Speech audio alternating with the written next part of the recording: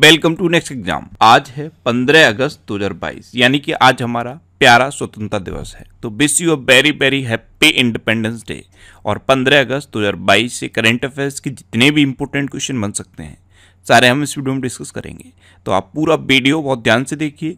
Last में मैं आपसे क्वेश्चन पूछूँगा। उसका आंसर आपको कमेंट बॉक्स में बताना है।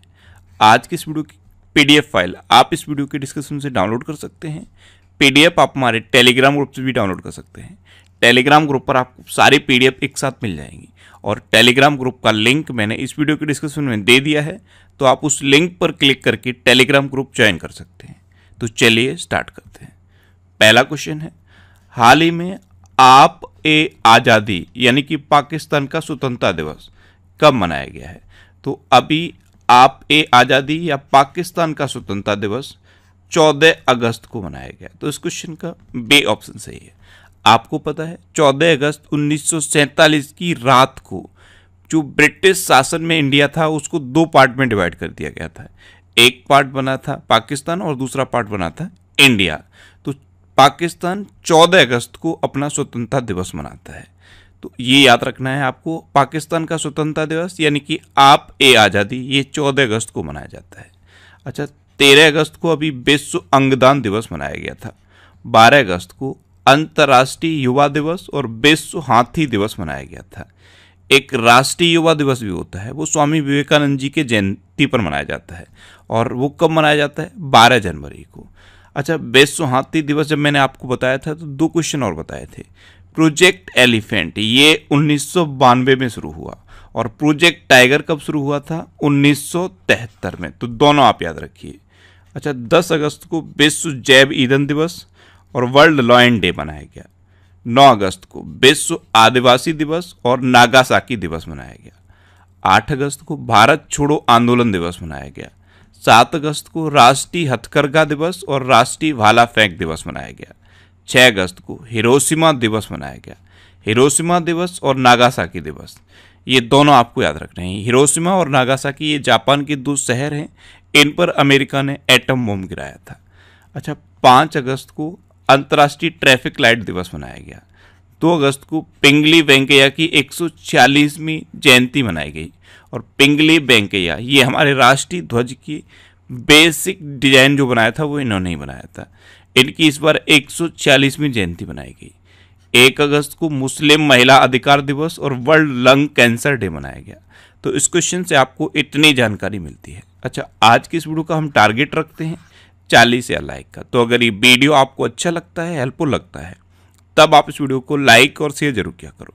और मैं आपको भी बोलता हूँ डेली मॉर्निंग मोड कर सबसे पहले अपने लिए एक टारगेट फिक्स करो।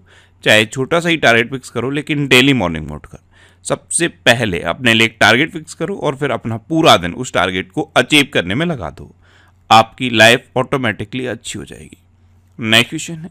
हाल ही में उत्तर पूर्व ओलंपिक 2022 खेल के दूसरे संस्करण की मेजबानी कौन सा शहर करेगा?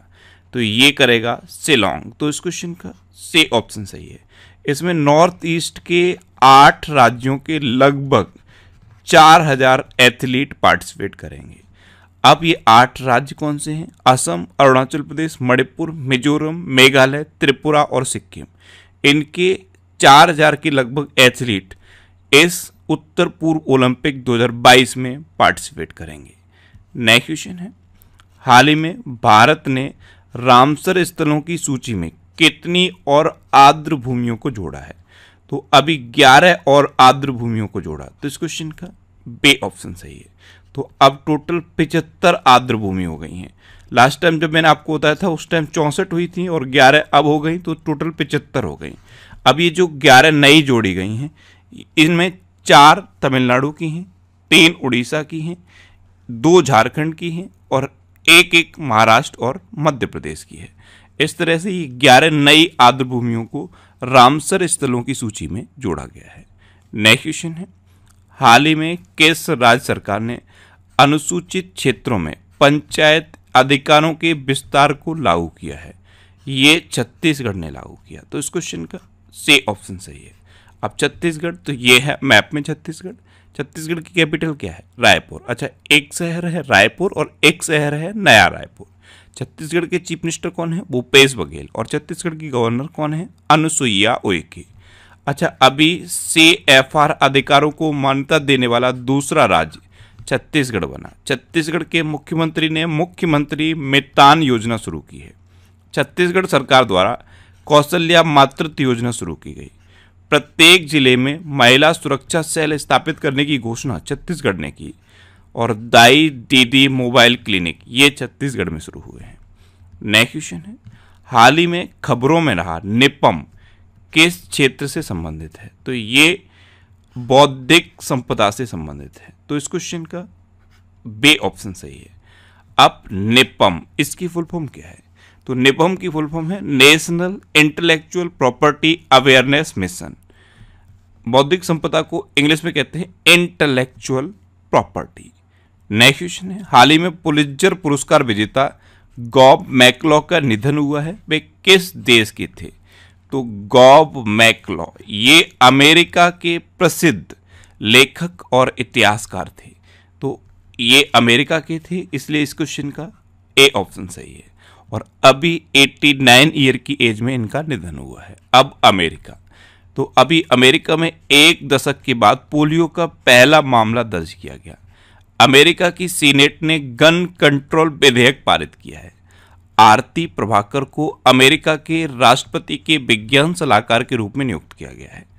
भारत इसराइल यूएई और यूएस ने एक नया आई टू, यू टू समूह बनाया है और अमेरिका में निर्मित सुपर कंप्यूटर फ्रंटियर ने फुगाकू को पीछे छोड़ दिया है। फुगाकू ये जापान का सुपर कंप्यूटर था। इसे अमेरिका के फ्रंटियर ने पीछे छोड़ दिया है। अच्छा इंडिया और अमेरिका के बीच में कौन कौन सी डिफेंस एक्सरसाइज होती हैं? कोप इंडिया टाइगर ट्रम वज्र प्रहार और युद्ध अभ्यास जिसमें से ये जो युद्ध अभ्यास एक्सरसाइज है, ये अभी उत्तराखंड की औली में होगी। और वज्र प्रहार एक्सरसाइज ये अभी हिमाचल प्रदेश में हुई है। तो ये भी आपको याद रखना है। नेक्स्ट क्वेश्चन है। हाल ही में भारत और किस देश की सेना के बीच अल नजहा नामक अभ्यास बीकानेर में संपन्न हुआ है? तो अभी अपने देश भारत और ओमान के बीच अल नजहा नाम का एक्सरसाइज बीकानेर में संपन्न हुआ। तो इस क्वेश्चन का से ऑप्शन सही है। अब ओमान तो ये है मैप में ओमान। ओमान की कैपिटल क्या है? मस्कट। ओमान की करेंसी क्या है? ओमानी रियाल। और ओमान के प्रेजेंट टाइम पे सुल्तान कौन है? Haitham bin Tariq. कौन है? Haitham bin Tariq. Next question है।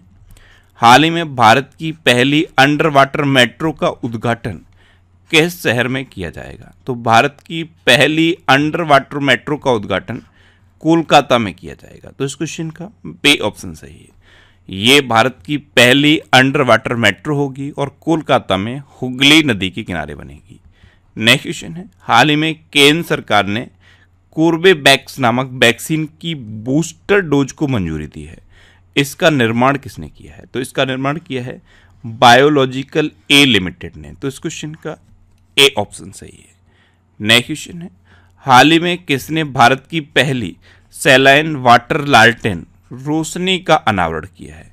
इसका अनावरण किया है हमारे केंद्रीय विज्ञान और प्रौद्योगिकी मंत्री डॉक्टर जितेंद्र सिंह ने। तो इस क्वेश्चन का बे ऑप्शन सही है। नेक्स्ट क्वेश्चन है, हाल ही में मुख्यमंत्री बाल आशीर्वाद योजना किस राज्य में शुरू की? तो ये मध्य प्रदेश ने शुरू की है। तो इस क्वेश्चन का से ऑप्शन सही है। मुख्यमंत्री बाल आशीर्वाद योजना, ये अनाथ बच्चों को आर्थिक सहायता प्रदान करने के लिए है। अब मध्य प्रदेश ने शुरू की तो ये है मैप में मध्य प्रदेश। मध्य प्रदेश की कैपिटल क्या है? भोपाल। अच्छा भोपाल में भोजताल है, ये याद रखना है। मध्य प्रदेश के चीफ मिनिस्टर हैं शिवराज सिंह चौहान और मध्य प्रदेश की गवर्नर कौन है? मंगू भाई सी पटेल। अभी विश्व का सबसे बड़ा तैरता हुआ सौर ऊर्जा संयंत्र मध्य प्रदेश में बनाया जाएगा। अमर शहीद चंद्रशेखर की भव्य प्रतिमा अभी भोपाल में स्थापित की जाएगी। राष्ट्रपति रामनाथ कोविंद ने भोपाल में आरोग्य मंथन कार्यक्रम का उद्घाटन किया। चैंपियन ऑफ़ चेज अवार्ड 2021 की घोषणा मध्य प्रदेश में हुई। खजुराहो नृत्य महोत्सव का आयोजन अभी मध्य प्रदेश में हुआ। कॉलर वाली बागिन के नाम से मशहूर एक बागिन का निधन मध्य प्रदेश में हुआ है। इससे सुपर मॉम के नाम से भी जाना जाता था और मध्य प्रदेश में ऑनलाइन गेमिंग विनियमन के लिए कानून बना है। अच्छा मध्य प्रदेश में कान्हा, बांधवगढ़, माधव, संजय, पन्ना और सतपुड़ा नेशनल पार्क हैं। ये मध्य प्रदेश के इम्पोर्टेंट नेशनल पार्क हैं। नेक्स्ट क्वेश्चन है, हाल ही में किसने पावर ग्रिड में संचालन निदेशक के रूप में पदभार संभाला है। तो ये आर के त्यागी ने संभाला। तो इस क्वेश्चन का बे ऑप्शन सही है। अच्छा अभी भारत पे ने नलिन नेगी को सीएफओ के रूप में नामित किया है। यूनिटी स्मॉल फाइनेंस बैंक के एमडी एंड सीईओ के रूप में इंद्रजीत कैमोत्रा को नियुक्त किया गया। सुरेश एन पटेल ने केंद्रीय सतर्कता आयुक्त के रूप में शपथ ली है।